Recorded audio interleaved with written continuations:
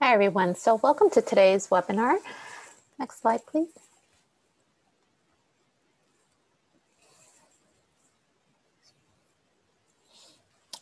Again, welcome to today's webinar on getting the supports you need from mental health providers. This webinar is sponsored by the Northeast and Caribbean Mental Health Technology Transfer Center, or MHTTC, housed at Rutgers School of Health Professions in the Department of Psychiatric Rehabilitation and Counseling Professions. My name is Kati, and I'm the project coordinator of this center and will be facilitating the webinar today. Next slide, please.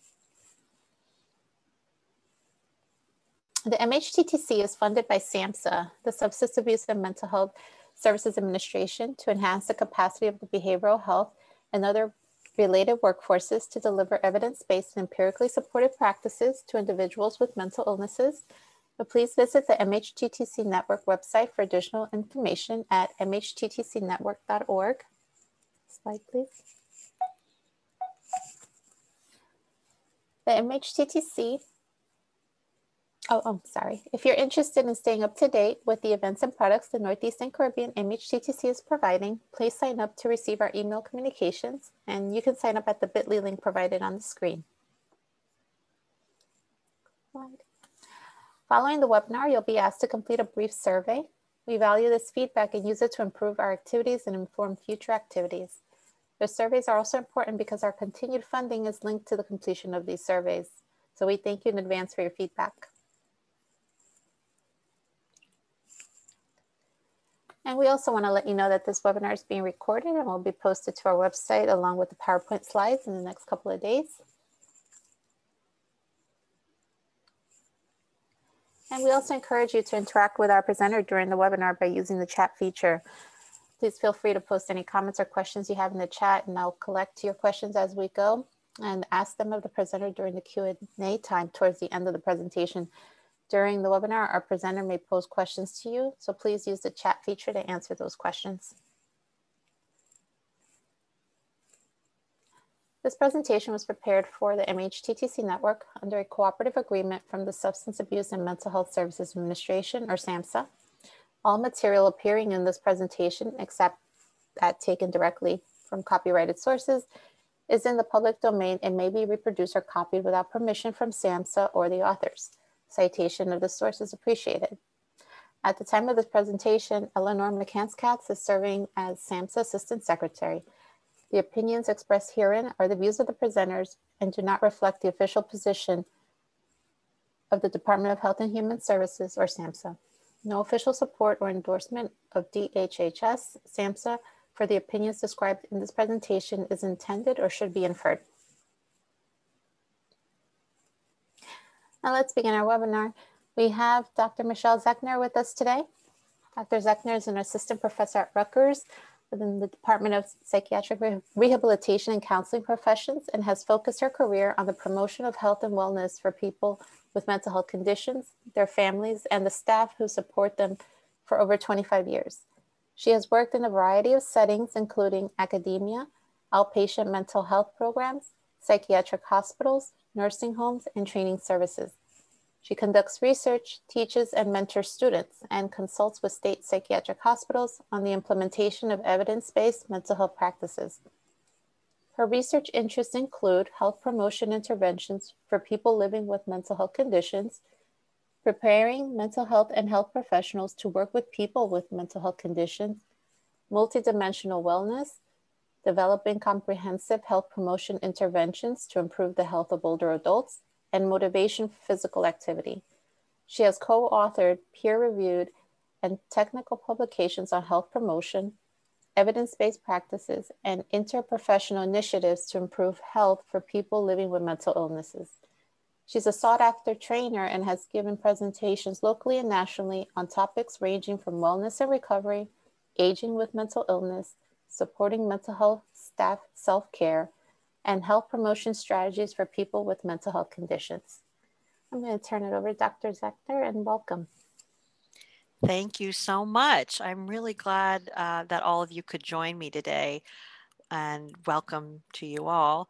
Um, we're going to be talking about getting the supports that we need. And I know that for many of us who work in the mental health field, we're really good at supporting other people and maybe a little less. Uh, less good. Uh, that's not a, that's not proper English, but it's it's a little ch- more challenging for us to get our uh, supports for ourselves. So for today, I wanted to explore the expectations that we have of ourselves, challenges that we currently face, and then talk about how some of those interact together and getting some of the care that we need.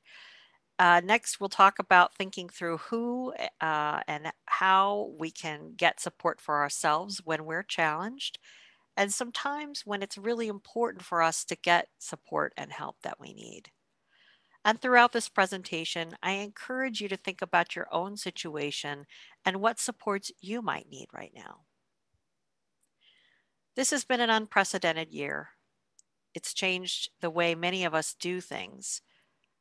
The world is a changed place and in crisis. There's been quick changes in the way we do our work, the way we live, with fewer in person events, and how we relax and spend our leisure time. For many of us, there's been a financial impact related to losing jobs, reduced hours or pay, or our partners losing income that put extra financial pressure on families. Many families have been challenged by remote learning and daycare services available. And when you add the uh, pandemic stress on top of the regular job stress and the season now of the holidays and changes in how we spend our time together, it really does add up to needing some extra care and support right now. With these challenges, self compassion is critical and we should remind ourselves that everybody needs help during a crisis, even us. So, my colleagues and I just published a paper that looked at some of the challenges faced by mental health providers this year. And we found so many difficulties that arose from providing services via the telephone or on the internet or some kind of telehealth or even through doors or windows our work every day to help other people manage their difficult emotions around life situations have been even more difficult um, through the current pandemic. This really takes a toll on us because we're helpers and we want to make a difference in the lives of others. We help people facing very difficult situations like homelessness, loss, grief, substance use, or other crises every day. On top of a stressful job in the best of times, we add in the extreme challenges of COVID. Our clients are also likely to be experiencing distress. At work, the logistics of doing our work through telehealth, getting masks or other PPE for ourselves and our clients, and supporting very vulnerable people during isolation of the pandemic. And at home, we're trying to manage what's going on in our family and our personal lives. All of these factors put us at greater risk for compassion fatigue and even burnout as we stop caring, maybe uh, a little bit or at all, and go numb. Or alternately, we might be able to shut off our work and be in a permanent state of crisis, trying to help others in their crises. Add to that the holiday stress. This year is unlike any other year. And we're going to be facing anniversaries, personal losses, that may have taken place recently of losing our friends, family members, clients, and even coworkers, and unable to manage the way we would in normal times. That's a really big list. And I'm sure that I left out a lot of things that are adding stress to your life. All of that is really to say, I know we've got a lot going on. I know you've got a lot going on. And right now, today, we have so much more that we're facing than we used to. Now more than ever, we're likely to need some additional supports to keep us going and staying balanced.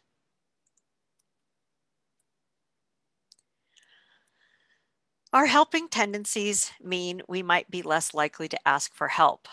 Had, that's why I had to have the superheroes, right? Sorry that it's a pink cape you know, it could be blue, it could be purple, whatever, yellow, gold, whatever. Um, we may even be getting the message that we shouldn't be asking for help. Um, we have to be strong. We are the heroes. That we have to be available all the time. That we're the one that people depend on. We're the frontline workers.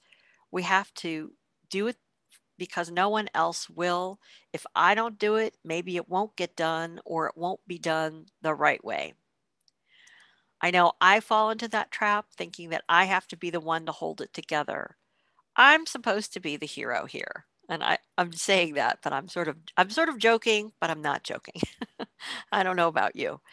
Um, and if I ask for help, it, it's going to mean that I'm weak or unfit, maybe to help other people, which is kind of not true, but I still tell myself that.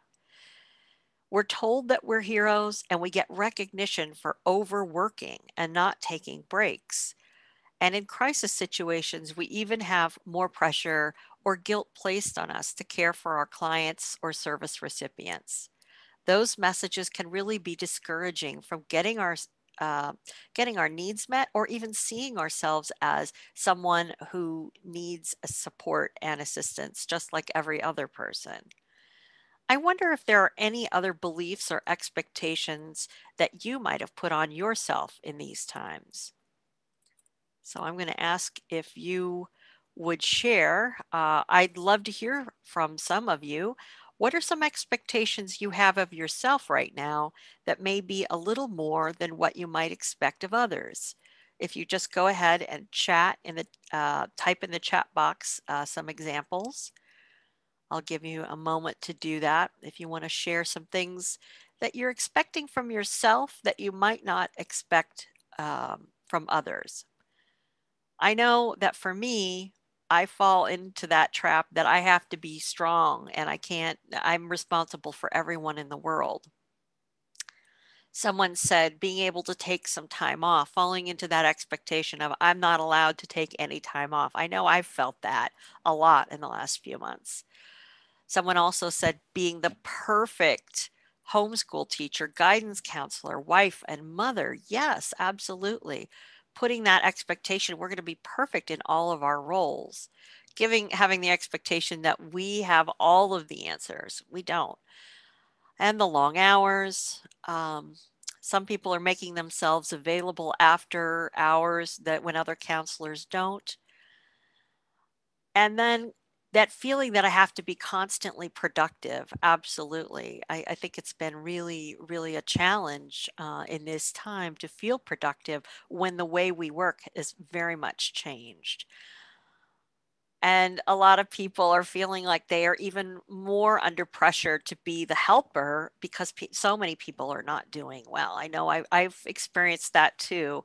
And people are saying that they have to respond to uh, all emails that they get at all times of the day.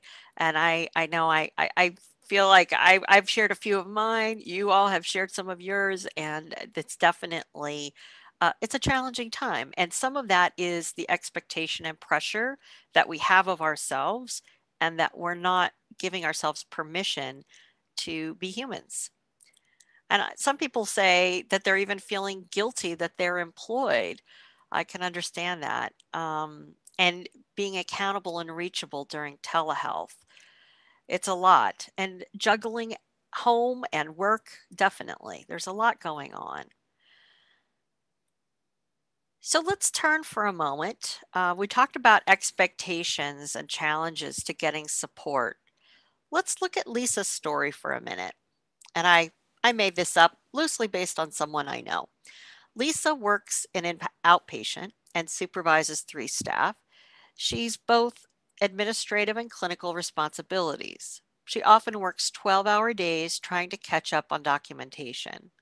She has multiple meetings each day, leaving her no time for personal breaks or to catch her breath. Lisa hasn't taken a day off in five months. She feels completely overwhelmed and notices that it's getting harder for her to connect with her clients and staff. And we're not even going to talk about uh, what's happening in her home life.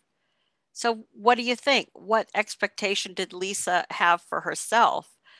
Um, I think some of you have already mentioned that in the chat. The the expectation that Lisa had.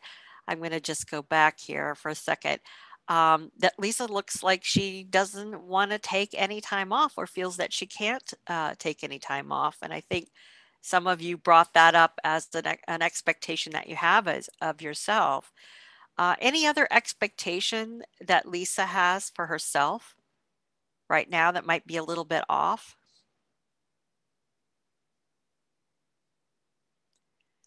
She has an expectation she has to show her staff that she's strong right? And that's modeling too right? Because so if she's working 12 hour days and she's not taking time off she's showing um, she's sort of showing that it's it's okay it's good not to take time off it's good to work long hours.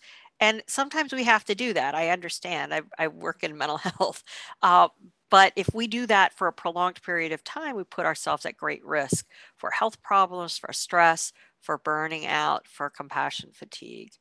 So nice job. Any and the challenges that Lisa is um, facing really is that she's not giving herself any time. I literally heard the person that I based this off on saying that she didn't have time to, for I call them bio breaks where you need a snack, you need to hit the restroom. I mean, if you don't have time for that, you're uncomfortable and you're grumpy and it's it's really hard to do your work. All right. Um, and someone said she might be facing burnout. Good point. It, it, sounds like she might be facing burnout. Definitely compassion fatigue if it's getting harder and harder for her to connect with her clients and staff, for sure. And she needs to ask for other people to cover her to give her a break. Right. Absolutely. So, we have to think about managing our self expectations, being aware of what pressures we put on ourselves. Just like Lisa, many of us have expectations that are pretty high. Maybe we don't think we should take a few minutes before our next client. Or maybe we feel like we can't take any days off, which we've already talked about. Or maybe we think we're the only ones who could fix the problem. Now, let's talk about what to do with our self expectations that push us too hard. First off, notice the expectations you have of what you should be doing. Identify the things that you place on yourself to accomplish. Again, that those messages like I'm the only one who could do this task the right way. And one way to challenge that expectation is to say to yourself, if I'm not there, it will get done. Maybe not my way, but everything will be okay.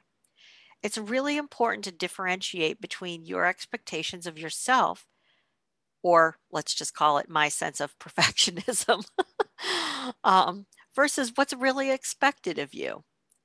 You may do some of this work with your clients, but noticing our own thoughts uh, that something might be a little bit off or a cognitive distortion from the truth, like over generalizing. If I'm not there, it won't get done. Well, a lot of things get done when we're not around.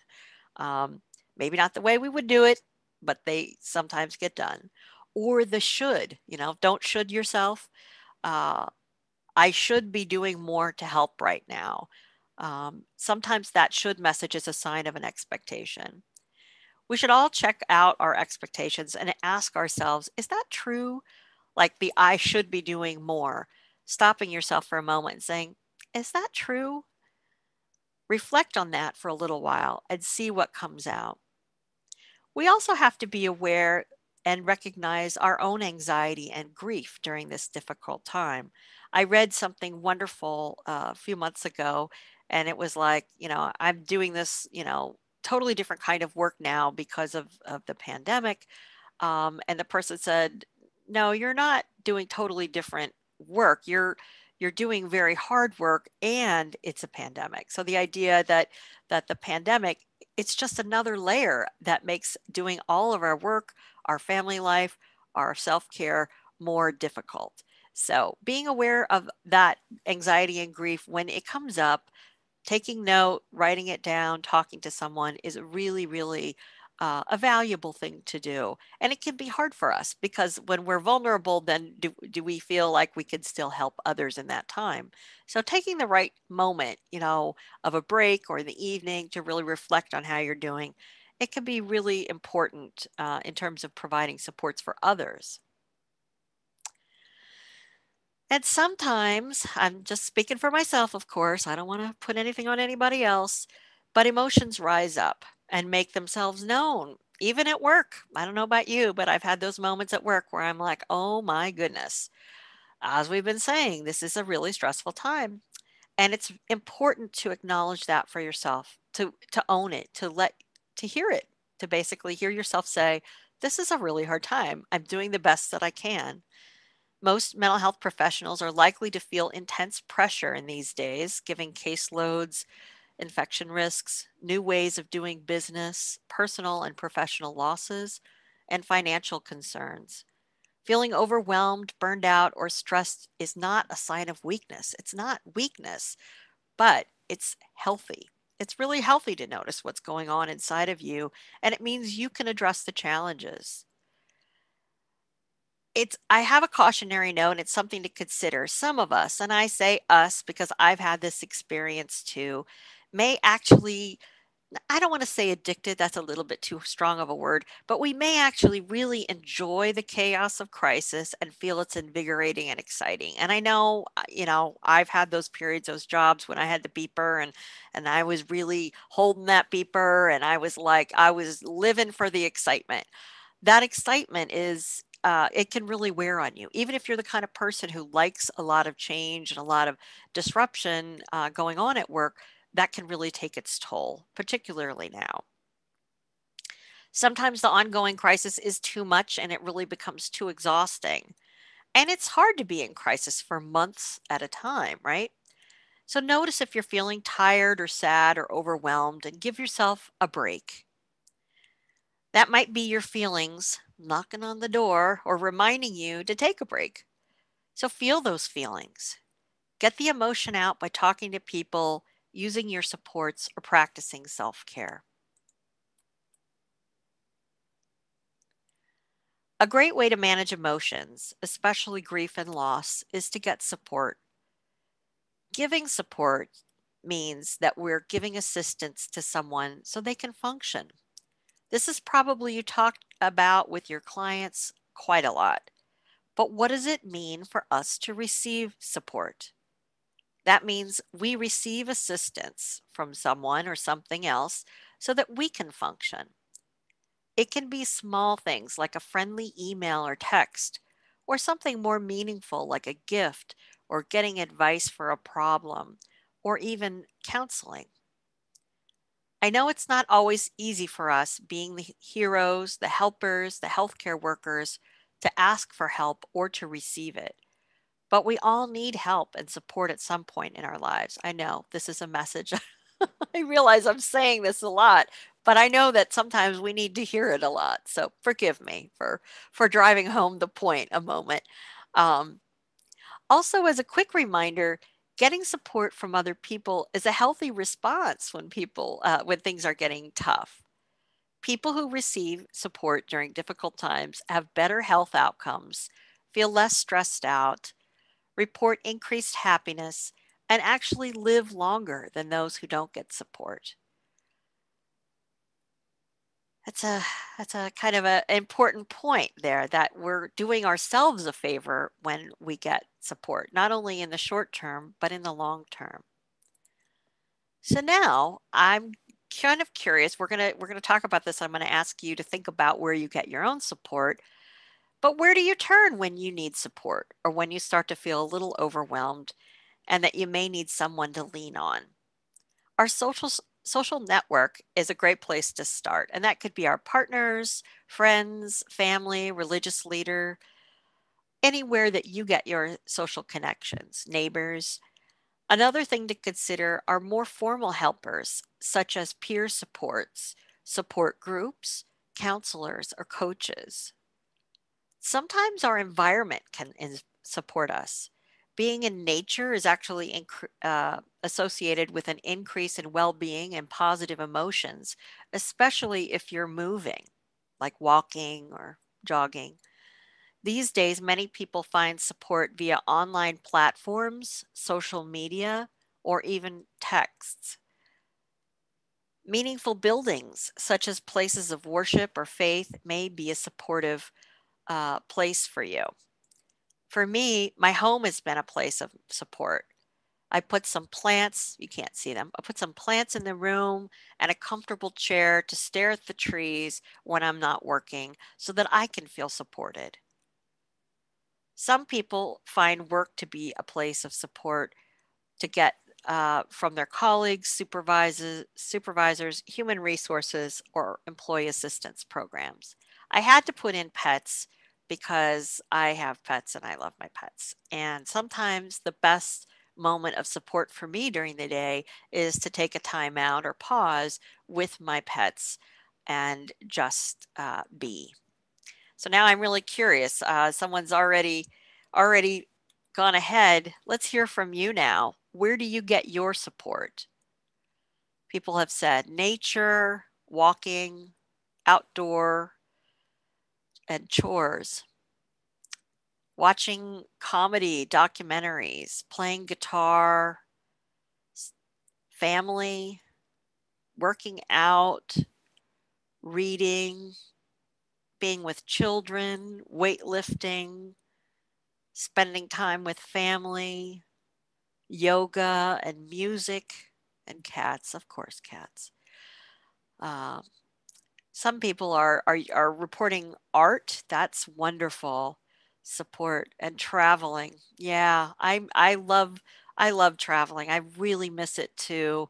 Uh, I I travel virtually now, and so I plan the trips that I'm going to take one day. Um, and someone else says cooking, and cooking is a wonderful, wonderful way to get support for yourself. Um, we have theme nights at my house. Maybe you do that too. We come up with a, a theme, an idea, and then we try to listen to music and the food of the culture, and we read articles about that place. So we can imagine that we've traveled. And then video games definitely. Uh, whatever makes you feel centered and uh, supported. And prayer, absolutely, and motivational videos. We all need support, and it looks very different for everyone. Um, you're welcome for the theme night uh, idea. That's yes, we've my I, my husband and I have been trying theme nights um, to cheer us up. so thank you for sharing all of your your places that you get supports. You, you've probably given us some ideas of, of what we might try in the future. We've talked about our challenges, our self expectations, and where we might get additional support when you need it. But it's not always easy to ask for help. Do you have trouble asking for help? I know I'm not very good at it. There's such a culture, at least in my circles of mental health, that getting help is a sign of weakness, even though we're mental health providers. That if we ask for help, we're not being good enough or strong enough.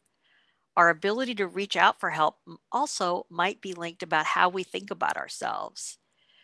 You would think that being in mental health field, we would be less likely to have stigma in seeking help, especially support for our emotional well-being. But ironically, I haven't seen that to be the case. You you might in your culture, in your mental health culture, in your work may see that support, but in the places that I've worked, it's been uh, it's been quite different. How easy is it for you to ask for what you need?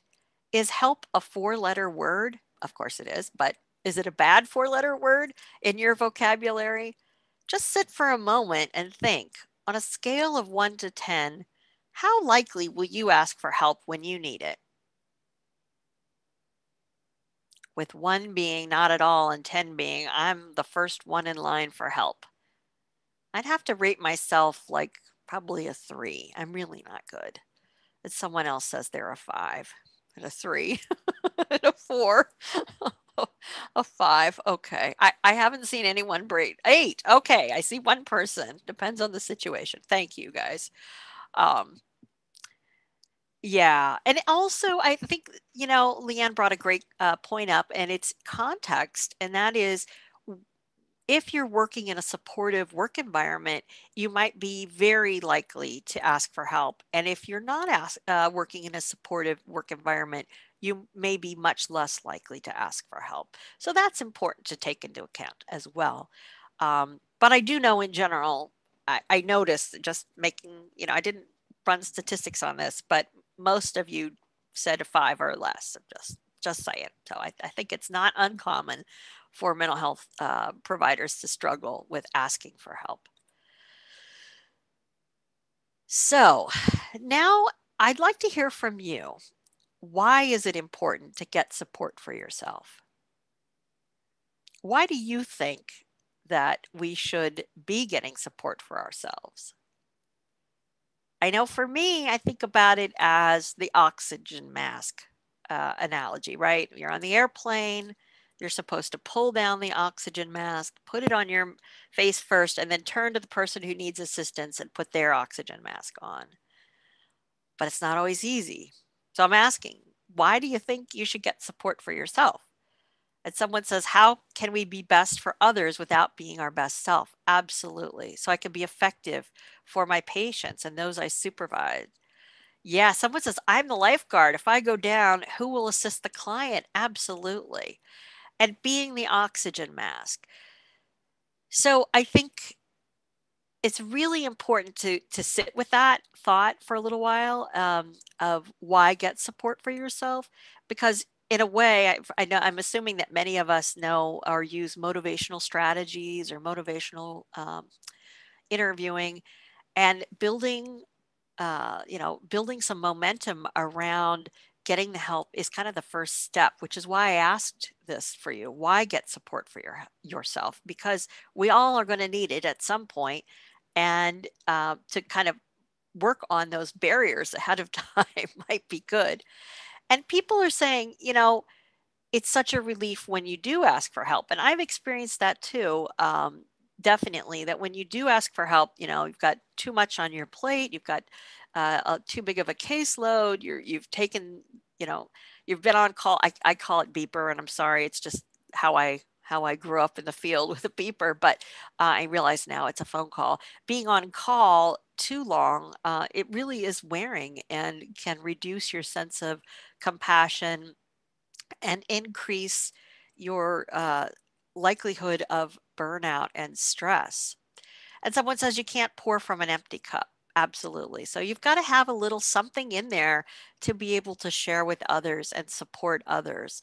Um, and it's not selfish at all to focus on yourself first to make sure that you have the ability and strength to do that. So, the first step in getting the support you need is to ask. Boy, that sounds obvious, right? But for me, again, I, am just saying for me, and I imagine for a lot of people, it's really hard to ask for help. You can ask for people uh, that ask people that you trust for support and help when you need it maybe even before you're in full tilt, overwhelmed, and suffering. I don't know, has anyone heard of the pre ask?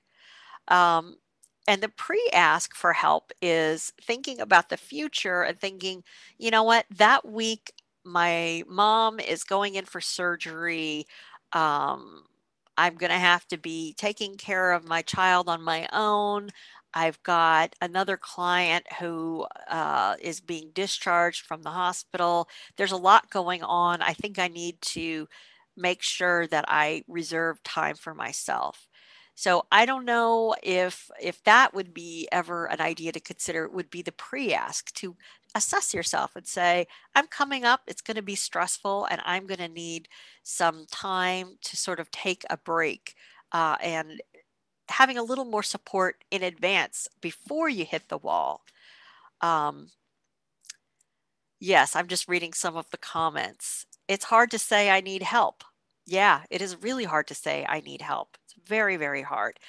And I think we need, as a mental health field, to get a little bit better at supporting our peers and ourselves and saying, yeah, we, we all need help. We all need help. And when we need help, it's it's going to make us a much better provider. It's going to be a, make us a better person, a better family member, a better human being if we get the support that we need when we need it. So let's talk about some of the warning signs.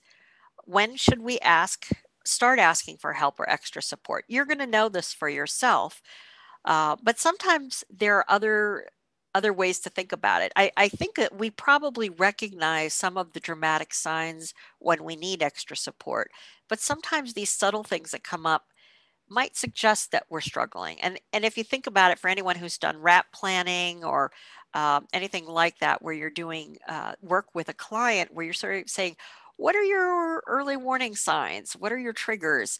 Um, that's kind of what we're talking about here the early warning signs for us. Getting, uh, so some of the warning signs that we uh, of compassion fatigue are listed. So blaming others, being easily frustrated or irritable for an ongoing period of time is a sign you might benefit from extra support as is feeling tired, exhausted, or overwhelmed most days. Another sign is sadness and tearfulness, or feeling empty or indifferent. They're kind of different ends of the spectrum, but if you're feeling too much or you're feeling too little, that's kind of a warning sign. Poor self-care, and this actually comes from the CDC, and they talk about personal hygiene. That's that's sort of interesting. So poor self-care, uh, if that comes up for you, might indicate that you're uh, really struggling. Also, if you withdraw socially or feel disconnected from your social network and stop connecting with your family or friends, that's a risk. Also, being easily startled um, or unable to let go of work situations. I've had jobs uh, where I, you know, worked on call and I would wake up at three o'clock in the morning and be worried about a client who I was very concerned about. And that was the time at which I, I think I was experiencing compassion fatigue in retrospect. Um, I was unable to let go of some of those work situations. Also, nightmares. If if uh, someone is experiencing nightmares about work or other topics, it might be time to get some help. Some of the stress, you know, can actually accumulate and then uh, turn into other physiological signs like shaking or having intense headaches or pain, you know, neck and shoulder pain when that gets too painful. It's also really important to notice if if we feel like we're being a failure.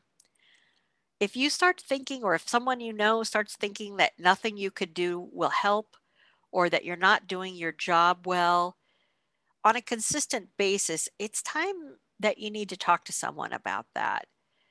Um, we're all doing the best we can, and some days we're going to have better days than others, but acknowledging the work that you're doing is incredibly important, especially uh, during these times. And lastly, if you need alcohol or other substances to cope with your life, you should probably consider some extra support. The CDC suggests if these continue for more than a month, it's really time to get mental health support for yourself. And some of the more obvious things that we probably uh, have seen in our clients and we might see in ourselves when you experienced these uh, symptoms or signs on a day to day basis. So, if your life is really impacted on a day to day basis by worry or sadness or irritability and anger, it's time to get professional assistance.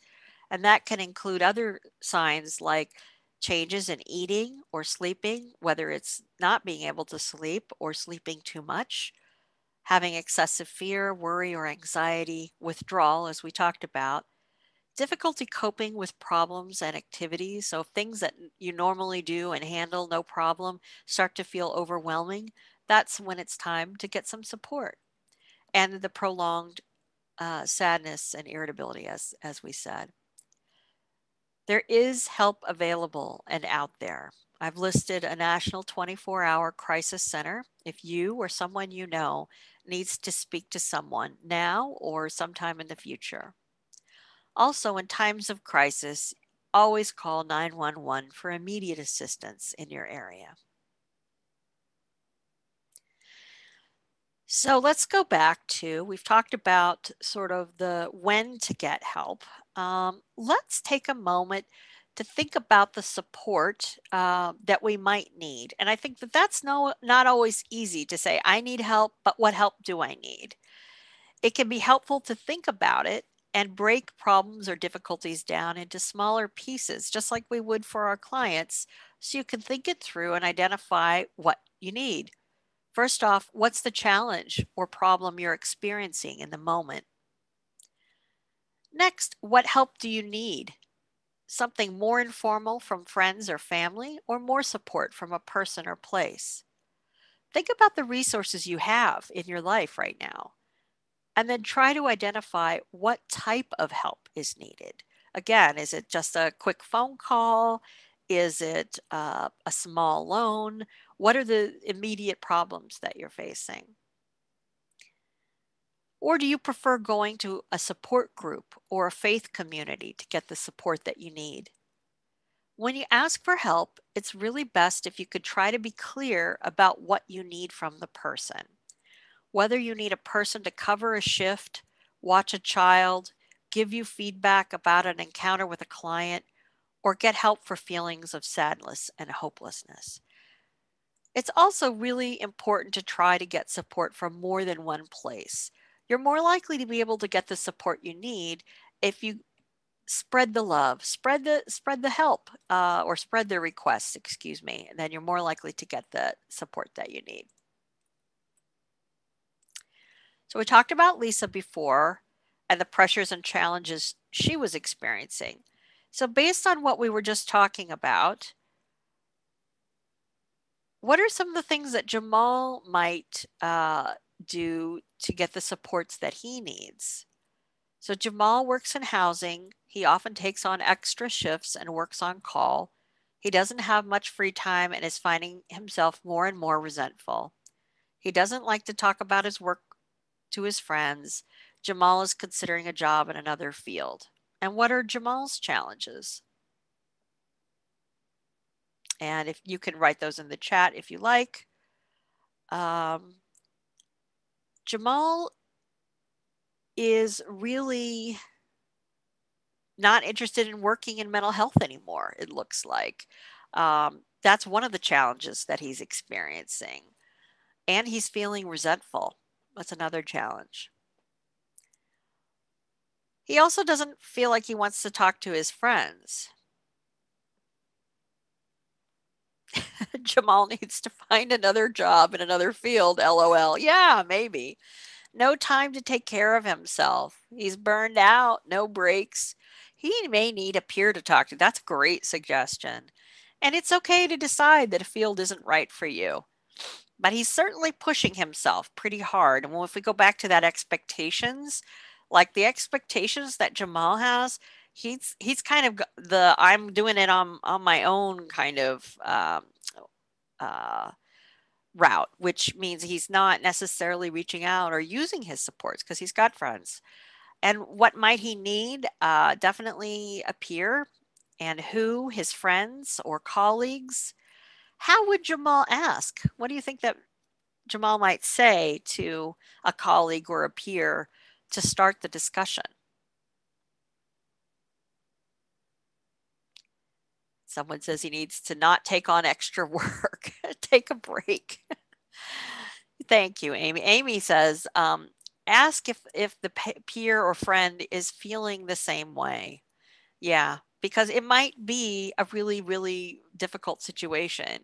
Um, and or to just get some feedback from a colleague. Yeah.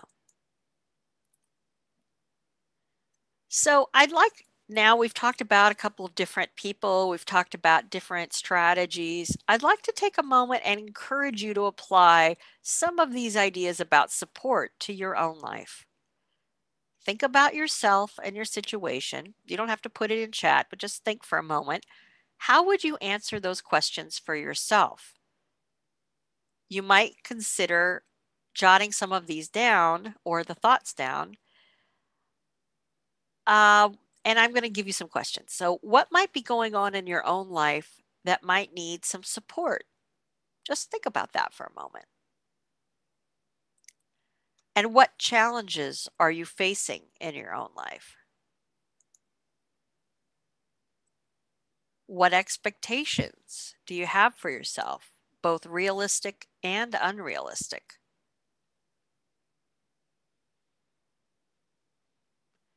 Who could support you right now?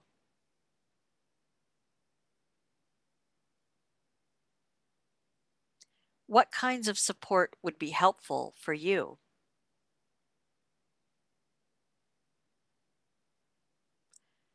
once you've gone through that sort of process, I'm going to go back to uh, this is the process. Once you've gone through the process of identifying the challenge, the help, and who can help you, it, it might be a really good activity uh, to sort of think that through for yourself.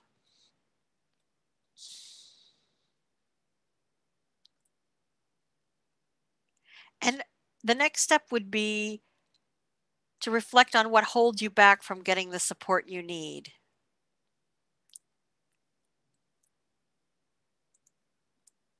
So, taking a moment to, to reflect, someone someone shared, uh, yeah, it's people are finding wor working from home challenging as well as working in the field.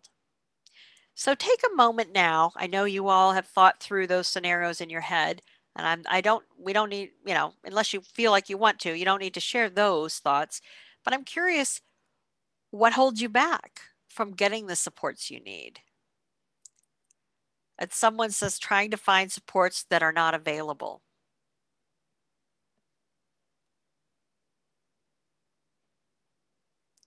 I think for me, what holds me back from getting the support I need is feeling guilty you know, comparing myself to others and thinking, wow, I have a job, I have a house.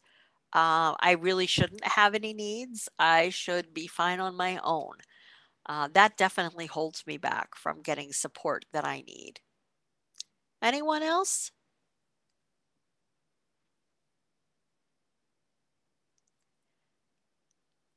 Not being able to see other people because of COVID, that definitely can, can hold you back. and not feeling judged that you don't want to put in a 60 plus hour work week. Absolutely.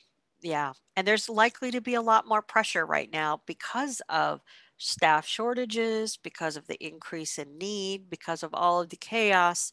Our services are in high demand. And again, if we don't put that oxygen mask on ourselves, we're not going to be able to continue to do our work.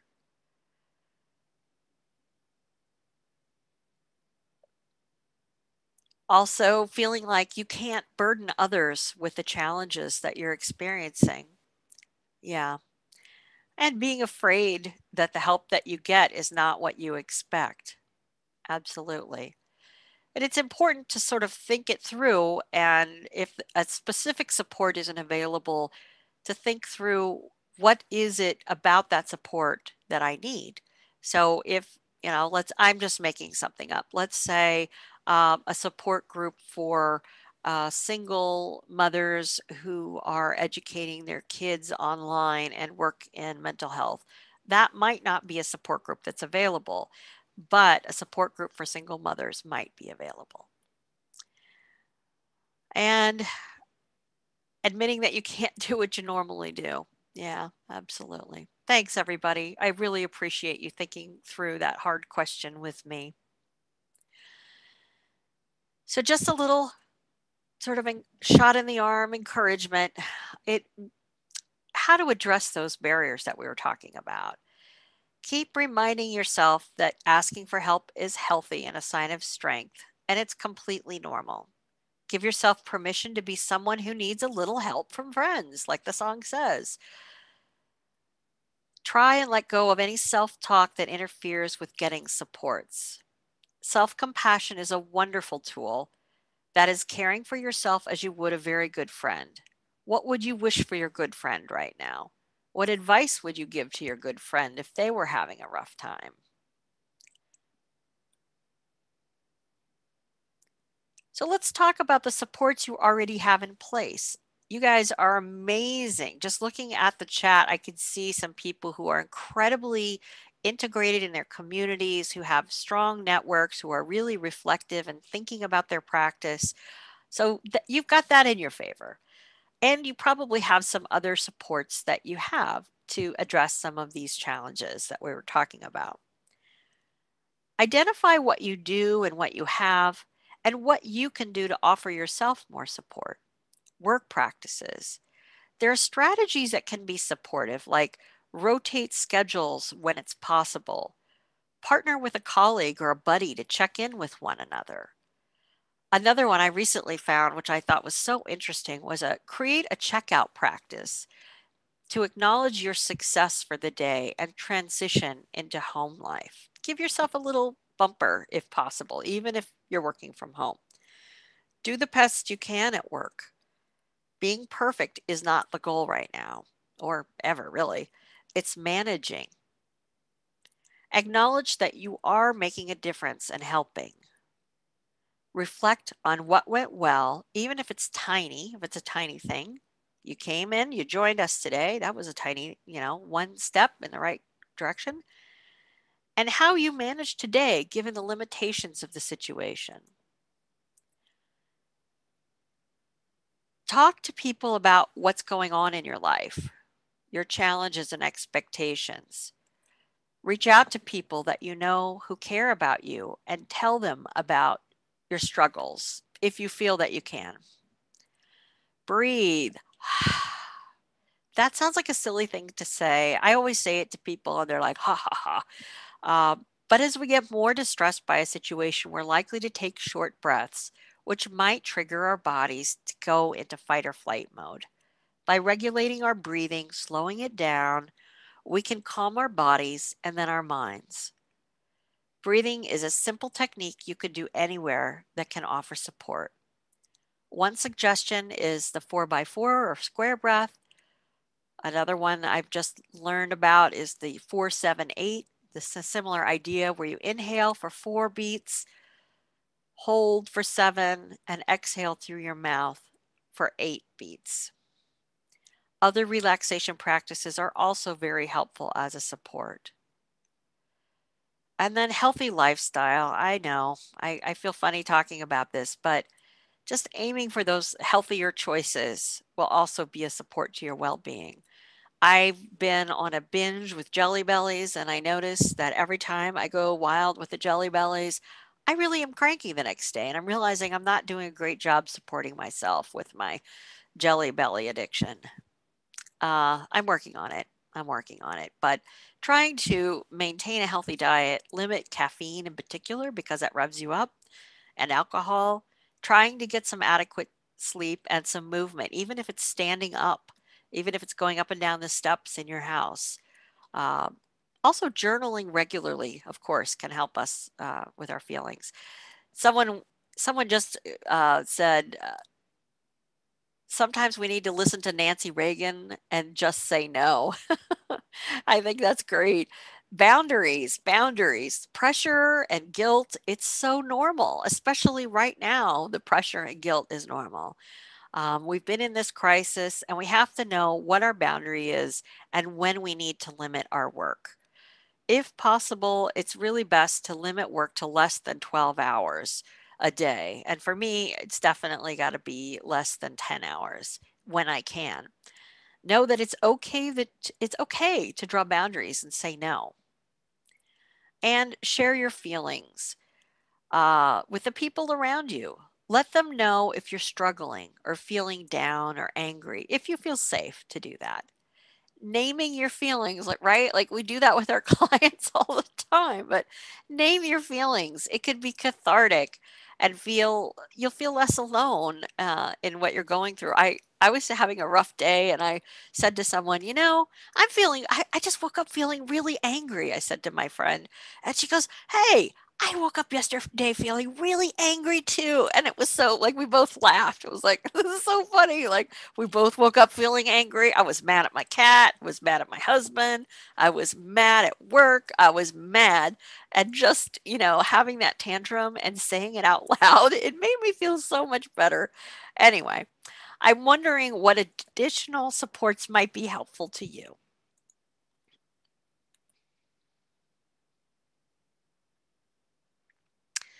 So we're going to move forward. Um, we have to put on our oxygen mask first. We've been saying that, but we have to really mean it and say it. Keep yourself healthy. It makes you a better worker, person, and family member. It's not selfish to take a break. Take a break, set a limit.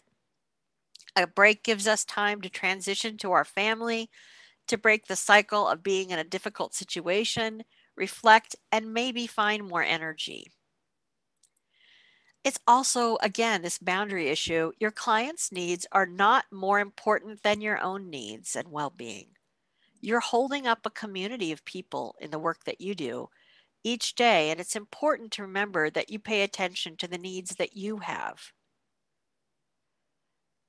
Working all the time doesn't mean that you're going to make your best contribution. Sometimes I fall into that trap. I work for hours and hours until my eyes get blurry and I'm on the computer, and then I start making mistakes and my work isn't very good. So taking time off when you can't uh, when you can, it, it helps not only to prevent compassion fatigue and burnout, it can also leave you feeling refreshed and better at your job when you return. And always remember that there are other people who are helpers who can offer their support in this situation. It's really something I see a lot of. Maybe maybe you see it in your workplace, maybe not. Um, that feeling that I'm the only one who can make this call or drive that client or fix this problem, whatever it may be. And finally, I, I do want to just say to everyone as a reminder our work is vital to our communities going through this time and all time. And if we have support, we can use our strengths and gifts to make a difference. Remember, we're all in this together. Give support where you can and take support when you need it. So, oh, see, my effort to be perfectionistic and I slipped my slide. My slide slipped, but it's fixed now. Um, so in summary, I'm hoping I've planted some ideas today about the normal experience of getting and uh, the support that you need. We all need support at some point. The expectations we have about ourselves and our shoulds can get in the way of asking for help. By noticing our shoulds and self expectations, we could check the thinking to see if we're putting a little too much responsibility on our shoulders. We talked about how to get the support you need by asking, What's my challenge? Who can help me? What do I need?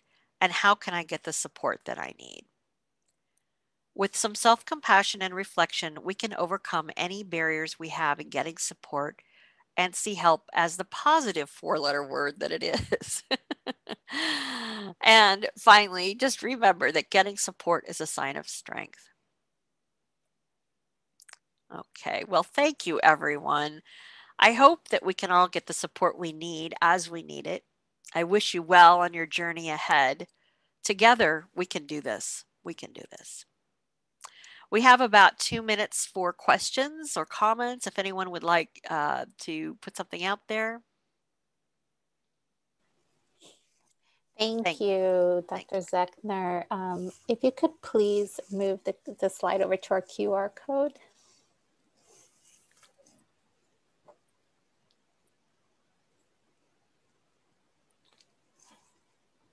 So as I mentioned earlier, um, we are funded through SAMHSA and as as part of uh, receiving this funding, we're required to submit data relating to the quality of this event. So if you could please, if you're able to use your QR code and scan the QR code um, to complete our short brief survey. I, I will also email a link um, to uh, to all participants today, um, a direct link to our evaluation code. Um, if you have any questions, we have about a minute. Um, so I see in the chat, this recording will be available um, later on this week. And I will also send certificates of completion for one hour of uh, professional development or training hour. Um, so someone here saying, thank you for the presentation. She took the time to do this for herself today and glad that she did. Yes, at times also um, learning about ways to, um, to care for ourselves is also part of our self-care, wouldn't you say, Dr. Zechner? Uh, yeah, absolutely. And someone has the pre-ask, and the mm-hmm. pre-ask is like when you ask for help, but think about the pre ask as being the planning for asking for help. So that is, I know I'm going to go through a tough time. I know that I've got like three things on that day, and I'm going to ask ahead of time to say, you know what, I think I'm going to be stressed out on that day, and I'm going to need some extra support. I do the pre ask with my husband where I say, I, want to be off the hook for dinner tonight because I've got I've got a webinar and I have you know three meetings. Um, yes, so that's the pre-ask. Basically, it's just planning in advance for support you might need uh, in the moment. And I think the slides will be available, right, Kadi? Yes, also we will send a link um, once our slides are uh, uploaded to our website. I will also send a link to the recording as well as our presenter slides. Um, yes. Thanks, everyone. I really thank you so much for your participation. And it, it's always a much nicer webinar when we have uh, comments and questions and interaction. And I really am grateful for that. Thank you. Yes, and thank you all for attending. I hope um, everyone have a healthy and happy holiday as well as our best wishes for the new year. And um, if you have any questions, I will post my email in the um, chat box in case anyone has any other questions um, regarding our center or any certificates or links to um, our presentation. Um, so uh, I we're at the top of the hour, so we will respect everyone's time and I will um, wish you well. And again, if you have any questions, please feel free to reach out. Happy holidays, everyone. Take care.